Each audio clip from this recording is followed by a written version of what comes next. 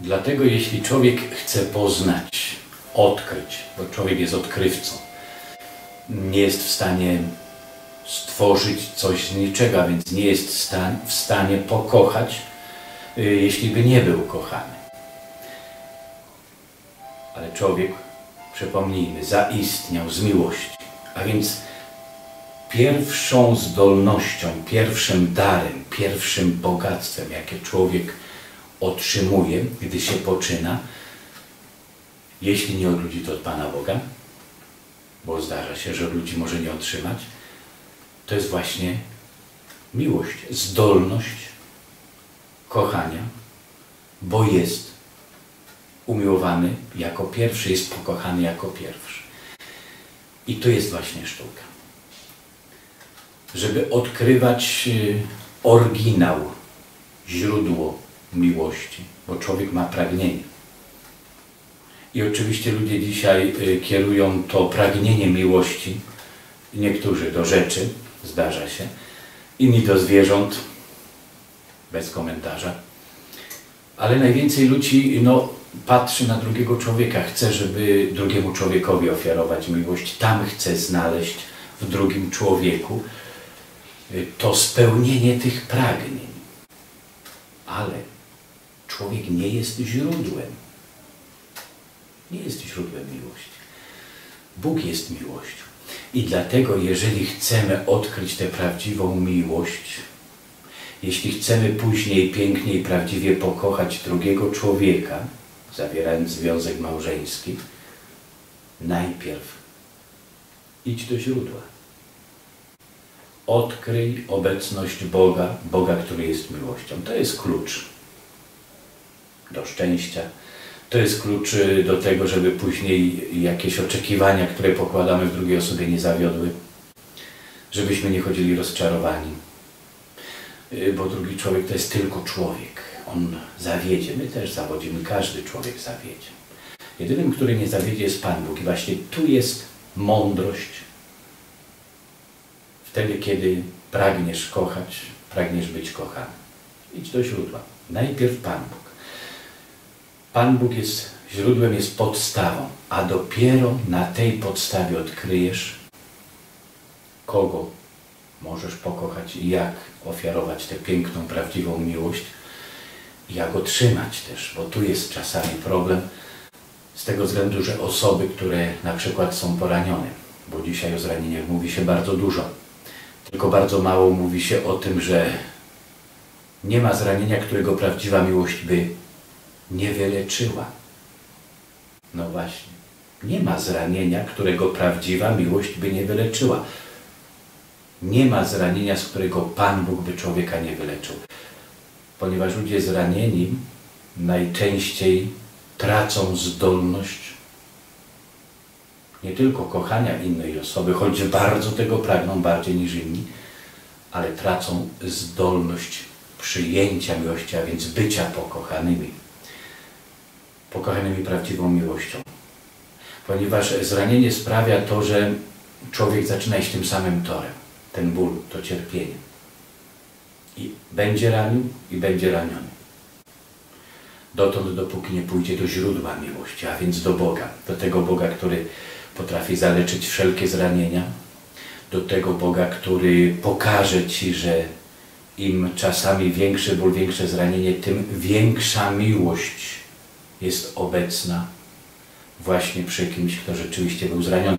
Tu nie mówimy oczywiście o tych wymyślonych zranieniach, tych oczekiwaniach, które czasami są wybojałe, no i boli nas, bo cały świat nie chce spełnić moich oczekiwań. No te, te zranienia są najgorsze, bo tam nie wiadomo co leczyć, bo ich nie ma. Ale mówimy o tych prawdziwych. Wtedy, gdy człowiek prawdziwie jest zraniony, pamiętajmy, że nie będzie latał po, po całym świecie i mówił, ja jestem zraniony, wymyślał, ojejku, jak mnie boli. Bo człowiek, który jest zraniony, który boli, no schowa się gdzieś w kącie. Yy, usiądzie spokojnie, bo go naprawdę boli. Także te wszystkie wystąpienia takie publiczne, yy, że tu zdarzyło się to, tu zdarzyło się tamto, zawsze trzeba postawić znak zapytania, czy to było naprawdę, czy to jest po prostu taka moda dzisiaj im kto głośniej krzyczy, im kto wie, mówi, że bardziej zraniony, no to, e, to wtedy jesteś o, Ludzie ci współczują. Tyle tylko, że to ludzkie współczucie nic nie pomoże, jeśli rzeczywiście jest zranienie. Pomóc może Pan Bóg. Człowiek, jeżeli jest mądry, to zaprowadzi cię do Boga, do źródła, do Bożego miłosierdzia. Bo tam jest y, w Jego ranach, tak jak mówi prorok Izajasz, w Jego ranach znajdziecie uzdrowienie waszych zranień. Gdzie indziej tego nie znajdzie. Dlatego ci, którzy są zranieni, są predysponowani, można tak powiedzieć, są predysponowani, uprzywilejowani do tego, żeby odkryć większą miłość, prawdziwszą, żeby pełniej kochać, pod warunkiem, że pójdą do źródła, a więc pozwolą się Bogu uleczyć. Wtedy poznają, jak wielka jest miłość Boga. A niestety wielu ludzi paradoksalnie robi odwrotnie, więc odwraca się od Pana Boga. Nie pójdę, bo jestem zraniony i pytałem, czemu jestem zraniony, a Pan Bóg mówi, ja też jestem zraniony Twoim grzechem, Twoją obojętnością, Twoją arogancją, ale nie odwracam się od Ciebie. No właśnie. Iść do źródła. W jakiejkolwiek sytuacji, jeśli pragniemy pięknie kochać i jeśli odkrywamy, że to jest możliwe i pytamy się, jak tę miłość wypielęgnować, zachować. Jeżeli człowiek jest zawiedziony, zraniony, bo kochał czy pokochał, ale został no, oszukany, albo jego oczekiwania nawet zostały niespełnione, albo po prostu wydaje się, że nikt Cię nie kocha, bo to się wydaje. Jeżeli jesteś, to znaczy, że Pan Bóg Cię kocha. Jak Pan Bóg Cię kocha, żadna miłość ludzka, choćby cały świat klęknął przed Tobą i krzyczał co pięć minut, kochamy Ciebie, to Ci nic nie da. Yy, wystarczy jeden szept Pana Boga, że jesteś kochany, odkryć, odkryć to, ten fakt, bo tu nawet nie chodzi o, to, ale mówimy, że Pan Bóg stworzył, powołał do istnienia człowieka, wypowiadając go i dlatego pierwsze, co Ci wypowiem, gdy odkryjesz, gdy pójdziesz na spotkanie z Bogiem, to właśnie to, że jesteś kochany, że z miłości jesteś powołany do istnienia. To Ci pierwsze powiem.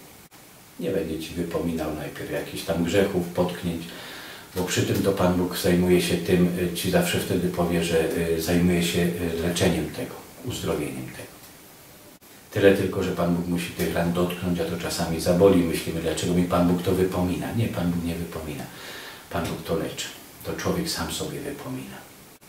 No bo chciałby doskonale sam wszystko zrobić. A trzeba iść do źródła. Dlatego pamiętajmy o tym. Trzeba iść do źródła miłości. Do Boga. Ze wszystkim. Z pragnieniem. Ze zranieniem. Z oczekiwaniem. Ze wszystkim, cokolwiek by nie było. To jest fundament. To jest właśnie ta podstawa. Do Pana Boga, który jest miłością i który pierwszy, pierwszy Cię umiłował. Bo istniejesz. Gdyby nie było miłości Boga, to byś nie zaistniał.